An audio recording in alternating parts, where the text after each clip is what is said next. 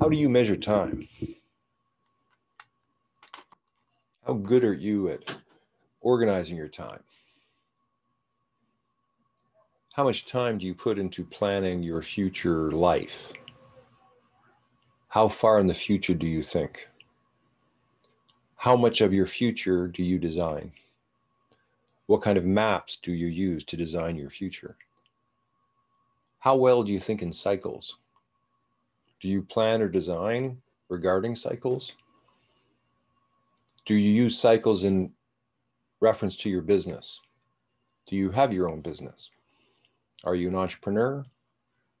Do you control your own time or does someone else control your time?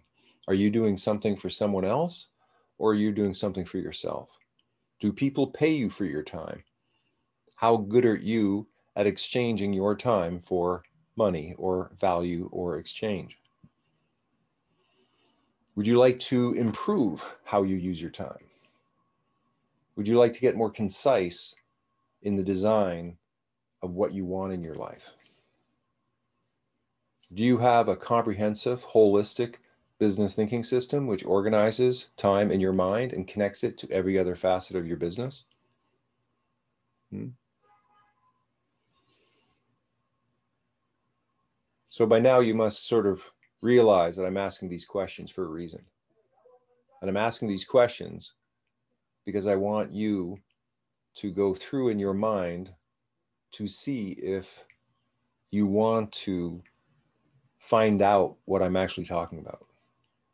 Because if I'm asking these questions, I probably have the answers to them. And the reason I made this video is the beginning of me going out into the world to share my knowledge around what I have discovered over the past close to 30 years. And now this is the first time coming into the world. So this is the first of a few videos of me attempting to enroll you in the idea of the inflow matrix operating system. If this interests you, give me a message. That's your next step.